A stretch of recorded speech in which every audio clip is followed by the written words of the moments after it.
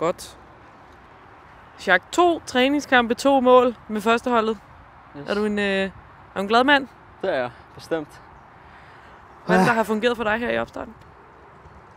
Jeg tror bare, at, øh, at ja, det er en tilvænding. At den er, den er sgu kommet. Begyndt så småt at tilvænne mig det her niveau. Og så er det bare at klø på og så fortsætte det gode niveau. Og så der har været god træning, godt niveau til træningerne. Det hjælper sgu også på ens eget niveau. Hvor meget øh, har, du, har du rykket dig, siden du begyndte at blive en mere og mere fast del af, af førsteholdet? Rigtig meget. Altså man rykker sig fra dag til dag. Det, det bliver sgu bedre fra dag til dag. Og bare, ja, bare være i det her miljø, elitemiljø, det, det er det, der måske har manglet for mig. Og så ja, bare være en del af det, det rykker mig hver dag.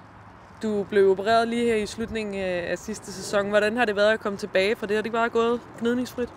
Ja, det synes jeg. Jeg har, øh, ja, jeg har ikke mærket noget til det efter operationen, så det, det er super skønt. Og så, ja, det var selvfølgelig ærgerligt, det kom. Det var en hård melding, men øh, at det heldigvis kun blev 6 uger, det, det takker jeg gudskelov for. Det er dejligt. Og du fik jo sidste år vekslet din øh, U20-kontrakt til en, øh, en rigtig Superliga-kontrakt, hvis man kan sige det sådan. Øh, nu ser det, har det set godt ud her i de første to træningskampe. Gør du der mere forhåbning om at spille en rolle i den kommende sæson? Ja, bestemt. Jeg håber, at jeg kan komme mere og mere og mere ind, øh, ind omkring førsteholdet. Men ja, jeg skal bare tage det stille og roligt. Jeg er stadig ung fyr. Der er stadig meget, jeg skal lære. Og det, det skal jeg bare gøre til træning, og så skal det nok komme på et tidspunkt. Hvad er det, du arbejder på nu øh, lige pt?